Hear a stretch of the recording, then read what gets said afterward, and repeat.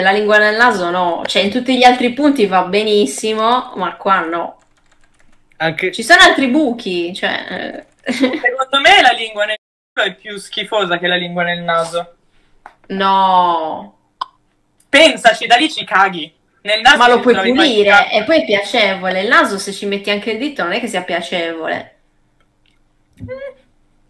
Però probabilmente leccherei più volentieri una narice che un ano. No, io sono più fan di leccare l'ano piuttosto che la narice.